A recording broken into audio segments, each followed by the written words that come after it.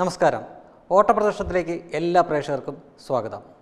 നമ്മുടെ സംസ്ഥാനത്ത് ഈ കോളാമ്പി വെച്ചുള്ള ബാങ്ക് വിളിയൊക്കെ നിരോധിച്ചു വരുന്നു അല്ലെങ്കിൽ അത് നിർത്തണം എന്ന രീതിയിൽ പോലീസ് നോട്ടീസ് കൊടുക്കുന്നുണ്ടോ എന്നൊരു വാർത്തയാണ് വരുന്നത്.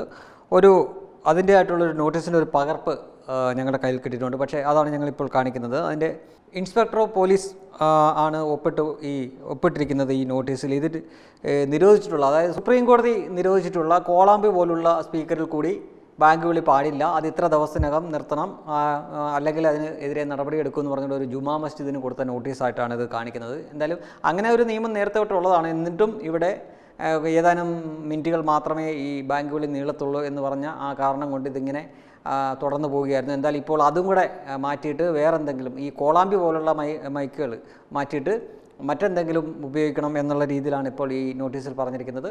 ഒരുപക്ഷെ ഇത് വലിയ രീതിയിൽ ചർച്ചാ വിഷയവും വിവാദമൊക്കെ ആവാനുള്ള സാധ്യതകളാണ് കാണുന്നത്. എന്തായാലും വരും ദിവസങ്ങളിൽ തുടർന്നുള്ള കാര്യങ്ങൾ ഇതിനെപ്പറ്റി അറിയാൻ സാധിച്ചേക്കും.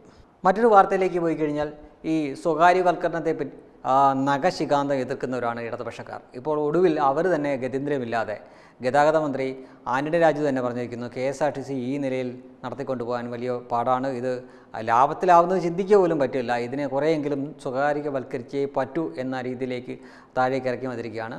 ഇതേ ആൾക്കാർ തന്നെയാണ് എയർ ഇന്ത്യ നഷ്ടത്തിലോടുന്ന എയർ ഇന്ത്യ ടാറ്റയ്ക്ക് കൈമാറുമ്പോൾ അതിനെ നഖശികാന്തം എതിർക്കുകയും മോദിയെ ചീത്ത വിളിക്കുകയൊക്കെ ചെയ്യുന്നത്. പക്ഷേ അവർ ചെയ്യുമ്പോൾ ആഹാ മറ്റുള്ളവർ ചെയ്യുമ്പോൾ ഓഹോ. അത് നമ്മൾ കാലാകാലങ്ങളായി കണ്ടുകൊണ്ടിരിക്കുന്നതാണ്. എന്തായാലും നമ്മുടെ സ്വന്തം ആനവണ്ടിയായിട്ടുള്ള ഈ K S R T C എങ്ങനെയെങ്കിലും രക്ഷപ്പെട്ടാൽ മതിയെന്നേ ഉള്ളൂ ഈ നാട്ടുകാർക്ക്. അതുകൊണ്ട് തന്നെ സ്വകാര്യവൽക്കരിച്ചാൽ ഇത് രക്ഷപ്പെടുമെങ്കിൽ അങ്ങനെ തന്നെ ചെയ്യാനാണ് ഞങ്ങൾക്കും പറയാനുള്ളത് ബഹുഭൂരിപക്ഷം ജനങ്ങൾക്കും അതേ തന്നെ അതേ അതേപോലെ തന്നെ അഭിപ്രായമായിരിക്കും എന്ന കാര്യത്തിൽ യാതൊരു തർക്കവുമില്ല.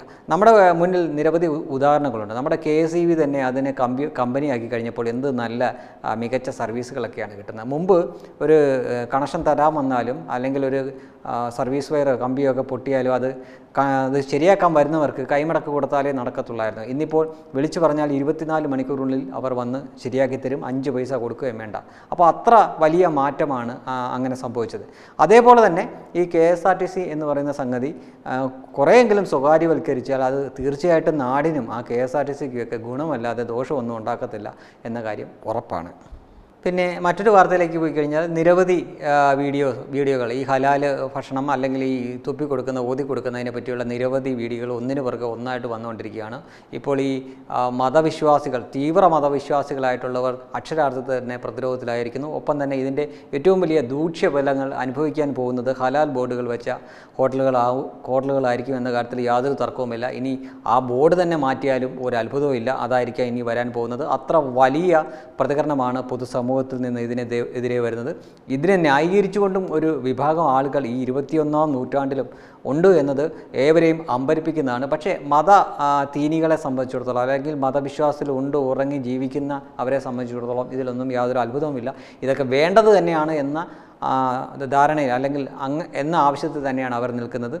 ഏറ്റവും അവസാനമായിട്ട് കുടിവെള്ളത്തിൽ വീണ ഈച്ചയെ മുക്കി എടുത്തിട്ട് വേണം വെള്ളം കുടിക്കുക എന്നുള്ള രീതിയിൽ പറയുന്നുണ്ട് ഈച്ചയുടെ ഒരു ചിറകിൽ വിഷമുണ്ടെങ്കിൽ മറു ചിറകിൽ ഔഷധമുണ്ടെന്നുള്ള വിചിത്രമായിട്ടുള്ള ന്യായങ്ങളൊക്കെയാണ് പറയുന്നത്. ഒരുപക്ഷേ ഇനിയുള്ള ദിവസങ്ങളിൽ കൂടുതൽ കൂടുതൽ ഇതേപോലുള്ള അബദ്ധ ജടിലങ്ങളായിട്ടുള്ള വീഡിയോകൾ റിലീസാവാൻ സാധ്യതയുണ്ട്. ഞങ്ങളുടെ കയ്യിൽ കിട്ടുന്ന അത് അനുസരിച്ച് ഞങ്ങളും ഇത് കാണിക്കുന്നതാണ്.